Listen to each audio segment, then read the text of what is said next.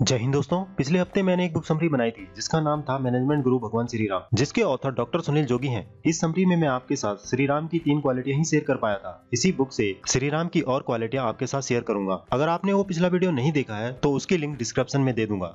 So let's begin number one मित्रों के सच्चे हितैषी राम एक सच्चे मित्र हैं। वे अपने मित्रों के लिए अपना अस्तित्व भी दांव पर लगा सकते हैं। इमरजेंसी में वे अपने फ्रेंड्स की हेल्प करते हैं और फ्रेंड्स की क्वालिटी को सबको बताते हैं और उनके अवगुणों और गलतियों को अपने दिल में नहीं रखते हैं। वे निषाद राज गु बानर राज सुग्रीव और विभीषण को अपना मित्र बनाकर मित्र धर्म को सीरियसली निभाते हैं। निषाद राज गु, वन में राम की सेवा करता है। उनकी रहने व खाने की व्यवस्था करता है। राम उसे अपना मित्र बना लेते हैं। उसको भरत के समान अपना भाई बताते हैं। राम अयोध्या लौटते समय श्रृंगवेरपुरम में दोबारा आते हैं। और निषाद राज गुहू से गले मिलते हैं और उनको अपने साथ पुष्पक विमान में चढ़ाकर अयोध्या ले जाते हैं। इस प्रकार वे गुहू को अपना मित्र मानकर अपना प्यार और मान देते हैं। हनुमान बाली द्वारा सताए गए सुग्रीव व राम की मित्रता कराते हैं और हनुमान दोनों के बारे में सारा इतिहास एक दूसरे को बताते हैं। राम सहज भाव से ही उनसे मित्रता करते हैं और सुग्रीव भी ऐसा ही करते हैं। वे सुग्रीव के बड़े भाई का वध करके सुग्रीव को अपना खोया हुआ राज्य वापस दिलाते हैं। सुग्रीव राज्य पाकर मित्र धर्म भूल जाते हैं, मगर राम अपना मित्र धर्म अंत तक निभाते हैं। वे सुग्रीव को अपने साथ पुष्पक विमान में अयोध्या ले जाते हैं और सम्मान के साथ विदा करते हैं। इसी प्रकार राम विभीषण से अपनी मित्रता निभाते हैं और उनकी मित्रता समय की कसौटी पर खरी उतरती है। रावण को मानने के बाद वह लंका में अपने भाई लक्ष्मण और मंत्रियों से उनका राज तिलक करवाते हैं। लंकापति रावण को मार कर वे लंका को जीत लेते हैं, लेकिन वे अपने मित्र विभीषण को राज्य सौंप देते हैं। अयोध्या वापस लौटने पर वे विभीषण को अपने साथ अयोध्या ले जाते हैं और उनका भरपूर सम्मान करके विदा करते हैं। सच्चा मित्र मिलना बहुत मुश्किल होता है। होता यह है कि लोग अपना उल्लू सीधा करने के लिए। दूसरों से मित्रता करते हैं। मतलब निकल जाने पर उनके लिए मित्रता के मायने बदल जाते हैं। सच्चा मित्र वही है जो इमरजेंसी में उसकी हर संभव हेल्प करे। राम ने अपनी पूरी लाइफ में सच्चा मित्र धर्म निभाया। उन्होंने पद प्रतिष्ठा को इम्पोर्टेंट न देकर व्यक्ति को इम्पोर्टेंट दिया और आपातकाल में उनके कंधों से कंधा मिलाकर साथ दिया। वे सच्चे अर्थों में एक मित्र थे। हमें उनसे प्रेरणा लेकर मित्र धर्म निभाना चाहिए और अपने मित्र की हर संभव सहायता करने के लिए हमेशा तत्पर रहना चाहिए। नंबर टू, सबको यथा योग्य मान देने वाले। श्री राम सबको यथा योग्य मान देते हैं। उनके जीवन में एक भी ऐसा प्रसंग नहीं है, जिसमें उन्होंने किसी का अपमान किया हो। माता पिता गुरु, परिवारजन, रिश्ते, नातेदार, मित्र, मंत्री, दूत, शत्रु, सेवक जन साधारण वे सभी की रिस्पेक्ट करते हैं। श्री राम बहुत व्यवहार कुशल है। जब सुग्रीव की सेना बानर व भालू सीता की खोज में जा रहे हैं तो बानर सेना में एक भी बानर ऐसा नहीं था, जिससे राम ने मुलाकात कर उसकी कुशलता न पूछी हो। जब सब बानर सीता की खोज के कार्य से वापस आ जाते हैं, तब भी राम सभी बानरों से भेंट करते हैं।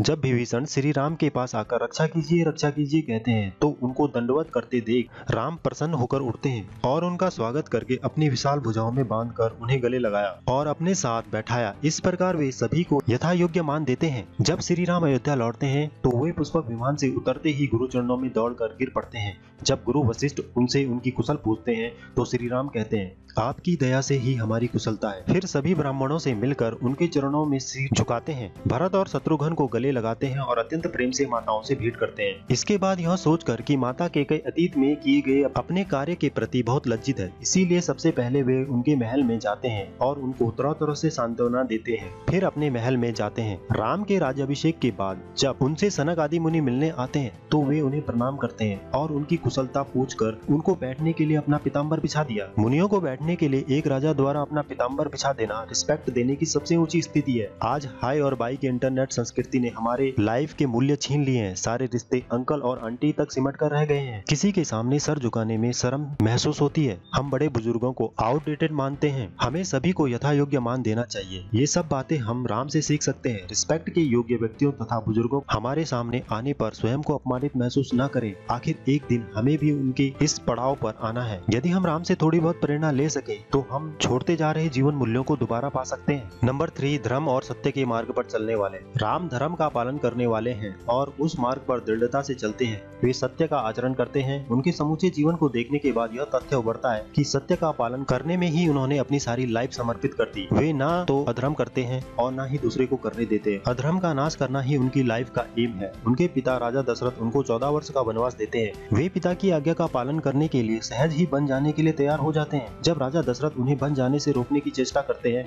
तो राम कहते हैं, अपने प्रिय के प्रति बर्बाद करके अपयस होगा। ऐसा कहकर वे राजा दशरथ को सत्य के मार्ग पर दृढ़ रहने व स्वयं बन जाकर सत्य के प्रति अपनी दृढ़ आस्था प्रकट करते हैं। इस प्रकार वे अपने पिता की आज्ञा को धर्म मानते हैं। मुनिराज विश्वामित्र और अन्य मुनिगणों का यज्ञ राक्षस नष्ट कर देते थे। विश्वामित्र अपने यज्ञ की रक्षा के लिए राम और लक्ष्मण को अपने साथ ले जाते हैं। राम मुनियों का यज्ञ भंग करने वाले सुबाहु और अन्य राक्षसों का वध करते हैं। इस प्रकार वे यज्ञ की रक्षा करते हैं और मुनियों को निर्भय कर वन में दोबारा धर्म की रक्षा करते हैं। राम सत्य की प्रतिष्ठा करने वाले हैं। वे सुग्रीव को वचन देते हैं कि वे बाली को मारकर उनका खोया हुआ राज्य वापस दिलाएँगे।